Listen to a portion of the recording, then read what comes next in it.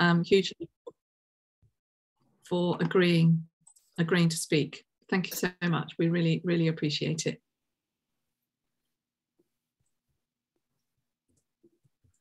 Good. Okay, so that, that's sharing okay, isn't it? Yeah. Okay. Good. I've got all the speakers as a little strip above. I don't think it's cutting anything off though. Good.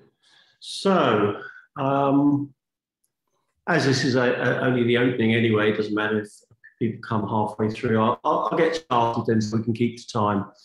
Well, uh, my name is Mark Pallen. Um, it's my great pleasure to welcome you to our Darwin Day 2022 at Norwich Research Park. Uh, this is the fourth of these events that we've organised, um, and this is the second one that we've done as a virtual event. Um, and uh, this time around, we're going to talk about uh, Darwin, evolution, and climate change as the, the theme. And I'm just going to give you a very brief introduction to the topic. I'm probably not worthy of giving such an introduction, but that doesn't usually stop me. So I'll, I'll keep going. Um, so just to outline uh, the, uh, the program for today. So we have two sessions.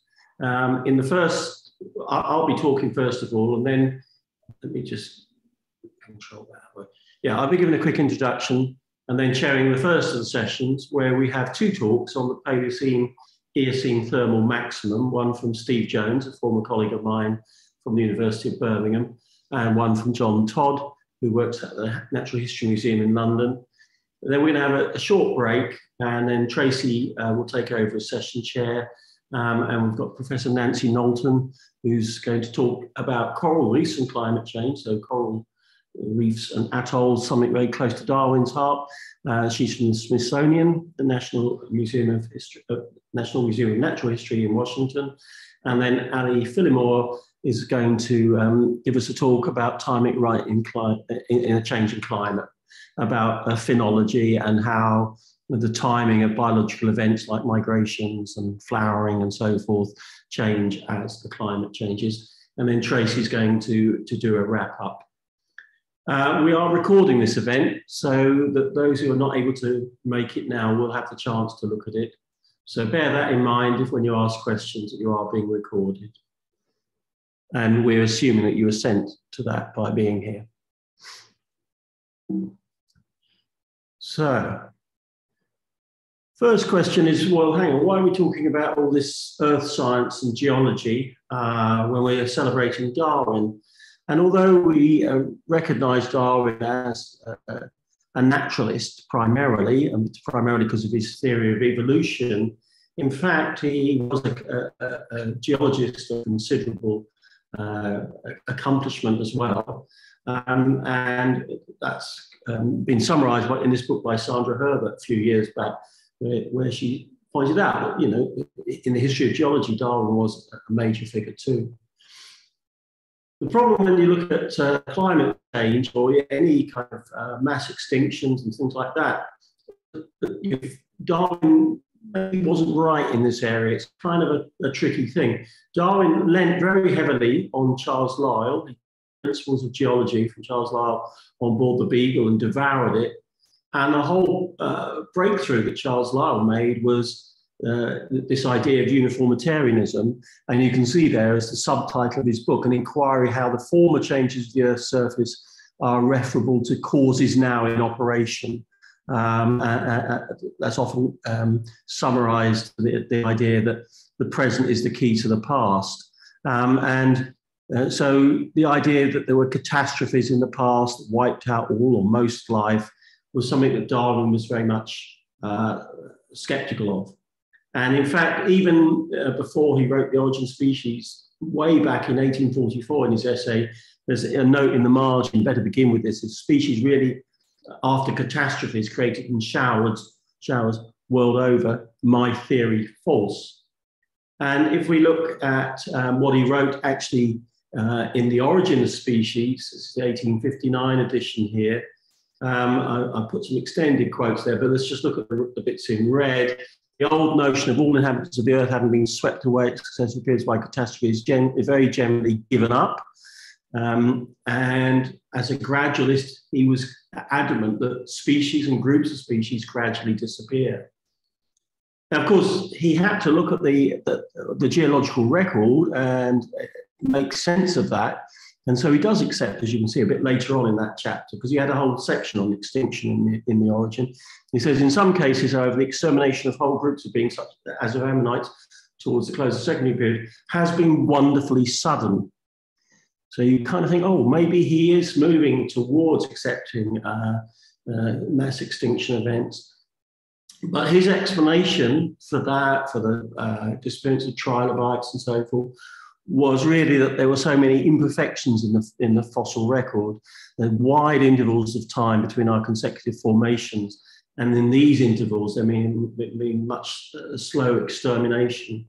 And so this, this is one area where Darwin didn't quite get it right, you might argue at least, uh, although it is still quite a hot topic in evolution. Um, um, he didn't have much to say about climate change either. He did talk about climate as an effect uh, on, uh, as a component, in fact, of natural selection. And he says here the action of climate seems at first sight to be quite independent of the struggle for existence. But insofar as climate chiefly acts in reducing food, it brings on the most severe struggle between uh, individuals. So he does, he does, but he was more interested in times of extreme cold, um, uh, which, as he pointed out in, in one particular winter, 80% uh, of the birds in his own grounds died because it's cold. Um, of course, the idea of global warming um, does have um, roots back in the uh, 19th and 1820s Fourier, Fourier proposed green, the greenhouse effect to explain why the Earth's temperature is higher than one might expect from the sun's energy alone. Um, Darwin's contemporary John Tyndall um, showed that water vapor, methane, carbon dioxide could absorb radiated heat and re-radiate it within the atmosphere. And he speculated that the changes in the composition of the atmosphere, in particular those gases, may have been the cause of climatic changes in the past, such as ice ages. And then in the late 19th century, Svante Arrhenius, the Swedish um, scientist, modeled the effects of carbon dioxide levels in the atmosphere uh, and very specifically address what happens if you take the levels down or take them up in terms of global temperatures. And then, of course, fast forward, we get to the so-called Keeling curve in the late 20th century, uh, where global warming has, has now become uh, established as an established event. And here's a, a graph showing you um, the rise in temperature um, in recent uh, decades.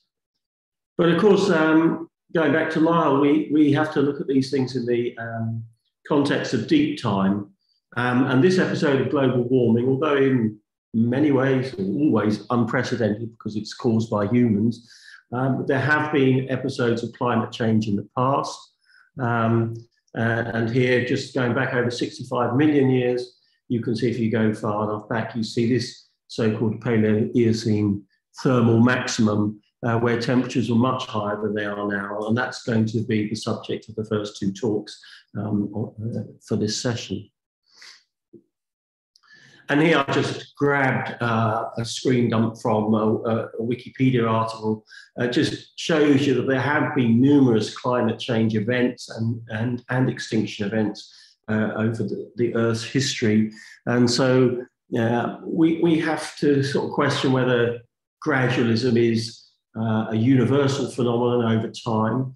And this has been one of those lively debates, the Dawkins versus Gould kind of argument about punctuated equilibrium versus phyletic gradualism, evolution by jerks, as it's called, versus evolution by creeps, as to whether evolution Dawkins kind of pointed out that nobody really accepts that it's always going at the same time, but it's always going fairly slowly, probably. Um, and so that, that's basically all I was going to say, is just as an introduction to get us started. Uh,